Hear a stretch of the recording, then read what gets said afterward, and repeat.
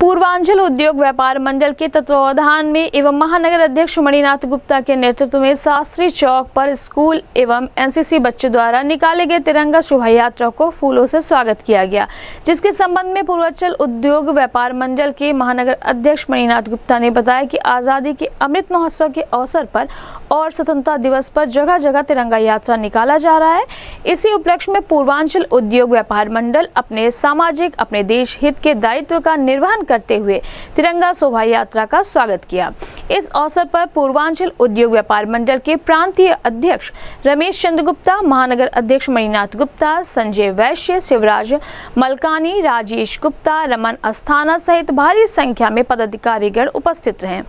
इस संबंध में गोरखपुर न्यूज़ से बात करते हुए पूर्वांचल उद्योग व्यापार मंडल के महानगर अध्यक्ष मणिनाथ गुप्ता ने कहा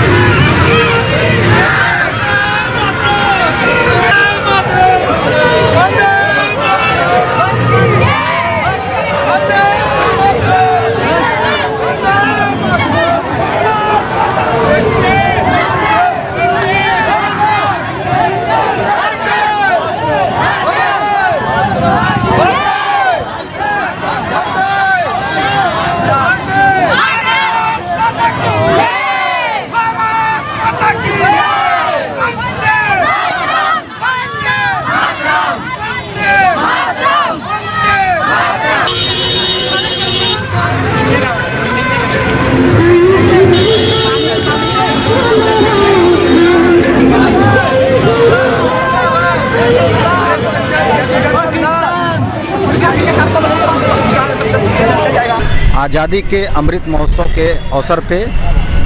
महानगर के सभी व्यापारी समाज, सभी आम जनमानस को आज बहुत बहुत बधाई बहुत बहुत शुभकामनाएँ। जैसा कि मालूम है कि पूरे देश में स्वतंत्रता दिवस के अवसर पर जो है, अमृत महोत्सव के कार्यक्रम में जगह जगह शोभा यात्रा जगह जगह रंगारंग कार्यक्रम, सांस्कृतिक कार्यक्रम, सामाजिक कार्यक्रम और हर सभी का जो है इन्वॉल्वमेंट